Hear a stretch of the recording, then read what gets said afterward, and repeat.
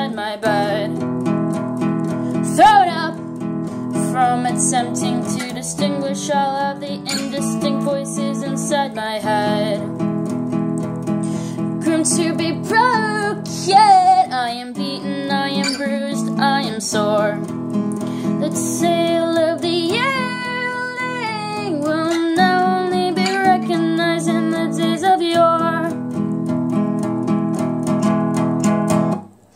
Artificially inseminate the thrones of peace inside your yard.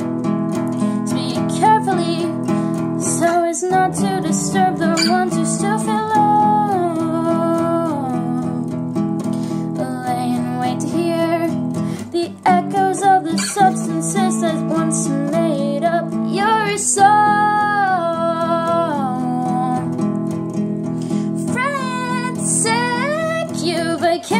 slept